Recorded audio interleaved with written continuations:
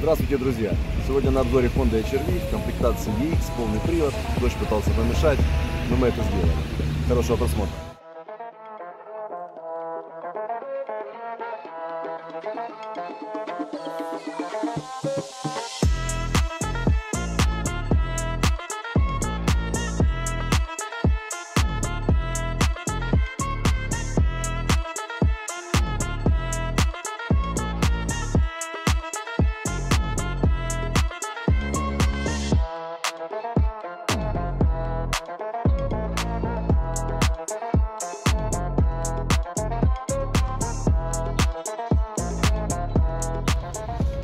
Славненький автомобиль Honda HR-V комплектации EX. В данном варианте это как бы в принципе имеет все себе неплохое, тут и климат, и все сейчас расскажу. И при этом всем единственный у нее как бы момент, для кого-то это плюс, для кого-то минус, вот для кого это плюс, тому я это буду рассказывать и показывать. Она на текстиле, то бишь, как у нас принято говорить, на тряпке. Год 16 Привод полный. Повреждения неплохие и легкие по нашим оценкам. Безопасность вся родная. Вот. А все остальное придется вам рассказать наглядно. Так, что у нас здесь? У нас здесь хорошо проверенный временем двигатель 1.8, который устанавливался на Honda Civic, такие же стояли. По ударчику здесь был вот такой вот верхний удар сюда.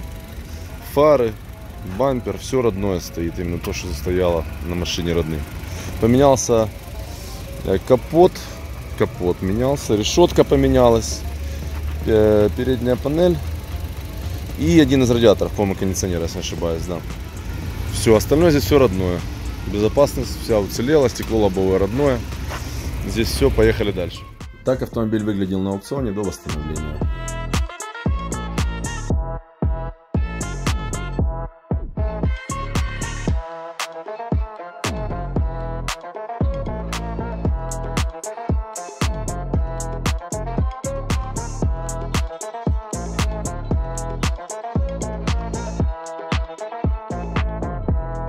Так, что у нас здесь по комплектации? Бесключевой доступ,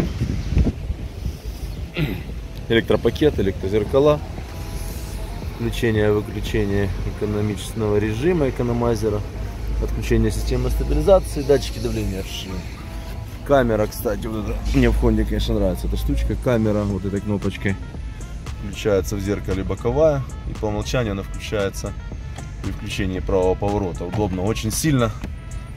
Она помогает справа не пустить какого-нибудь пешехода или велосипедиста или байкера, ну или даже машину, которая пытается врезать быстренько подъехав справа. Ну да ладно, функция классная. Так, есть лепестки под рулем, есть датчик света, есть противотуманки, а, здесь управление бортовиком и мультимедией, hands-free управление, а, круиз-контролем, так, дальше пробега у нас 52 тысячи миль. Это у нас в районе 80 тысяч километров. Значит, бесключевой доступ с кнопочкой старт-стоп, разумеется. Климат-контроль. Конечно, тут особого внимания заслуживает вот эта панель. Э, полностью в сенсорном исполнении. Даже подогревы сидений сенсорные. Вот, все здесь вот вручную. Тут можно поклацать, чтобы монитор вам отобразить. Положение. Два подогрева зеркал и сидений этих заднего стекла и зеркал. Ну да ладно. Ну и мультимедиа, в общем-то, тут неплохая, качество звука неплохое, слушал, играет достойно. Так, что у нас дальше? Возвращаемся в аудиорежим. Угу. Классные подстаканнички. Мне очень нравится, можно сделать их глубже, можно сделать их мельче, смотря что вам надо, бутылку, стакан или телефон положить. Ручник, помощь при подъемах и спусках. Здесь такие кармашечки есть, можно и телефон сюда положить, или какую-то пачечку. Вот здесь огроменная ниша, она припрятана. Не скажу, ней прям очень легко добираться, но тем не менее там можно разложить какие-то свои вещи, которые не нужны каждые 5 минут. И два USB адаптера, прикуриватель, зарядочка HDMI разъем. Сильно вроде так неплохо, мне нравится, как выполнено. Что имеем дальше? Подлокотник компактненький такой подлокотничек, вот он.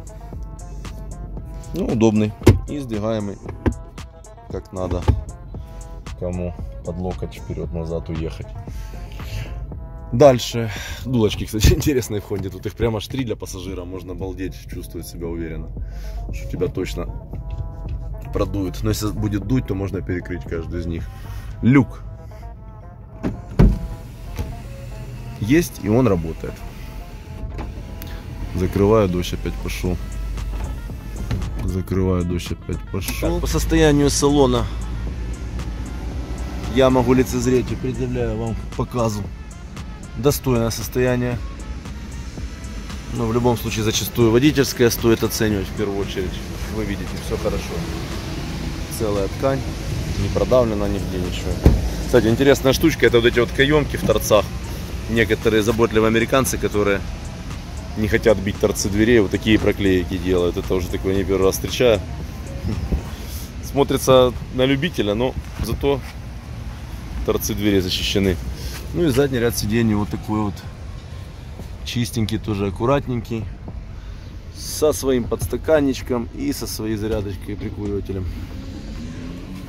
Друзья, я со своим прежним ростом 193 сантиметра в Honda HRV сижу хорошо. Я это говорил в предыдущих HRV и здесь это скажу. Мои показания в этом сойдутся.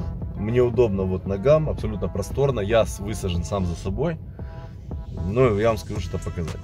Для мини-кроссовера, для компактного кроссовера, усесться на втором ряду сидений комфортно мне не просто. Тем более, когда впереди сидит не девочка с ростом метр пятьдесят или метр шестьдесят. Единственное, что э, замечаю, в своем росте, что вот в моей голове комфортно только в этой нише, вот если вы видите, она выполнена специально для головы. Если я вперед чуть голову наклоняюсь, тогда я уже упираюсь. Ну, это скорее всего за счет люка.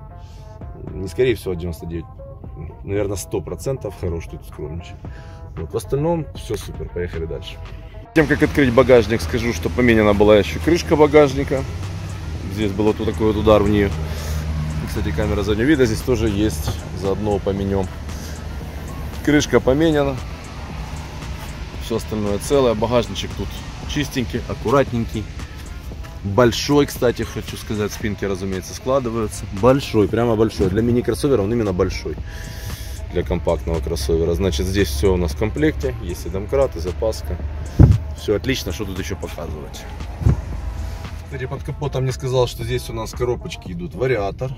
То, что она полноприводная, мог сказать, мог забыть, но лишним не будет повторить. Это полноприводная версия.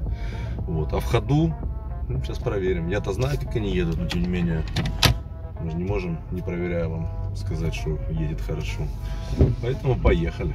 Кстати, вот она, камера заднего вида. Она с проекцией, с поворотной такой.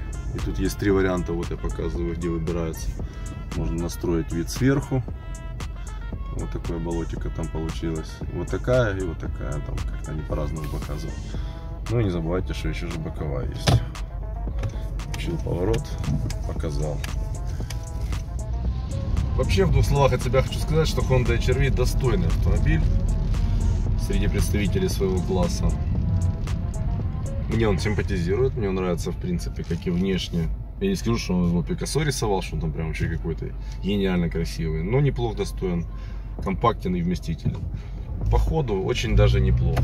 Сейчас покажу какие. Ну, наступлю я с 20 километров. Режим спорт специально включил, чтобы как-то было понятней. Едем, едем, едем. Временной портал понятен, впереди поворот, поэтому буду сбрасывать. Как-то так. Это мы ехали на спорт режиме. Придавлю еще раз. Вот когда я вам говорил, помните про то, что у нас все в левом ряду ездят? Вот что он едет в левом ряду? Так, вспоминаем. Про безопасность я вам сказал. Безопасность вся родная. Стекла родные сказал. Лобач не тронутый, родной. Кстати, по расходу из моих личных наблюдений, безусловно, вписывался в 10 литров. Для полного привода, для кроссовера, это, я считаю, шикарный показатель. Можно и меньше, но в 10 литров по-любому вписывался. На полном приводе на кроссовере, ну как можно сказать, плохо никак, мне кажется. В остальном это отличная машина, это Honda. Ребят, скажу вам так, нечего тут думать, если вам нужна подобного рода автомобиль. Нужен, нужен, да? Мы на связи, ждем вас в гости до новых встреч.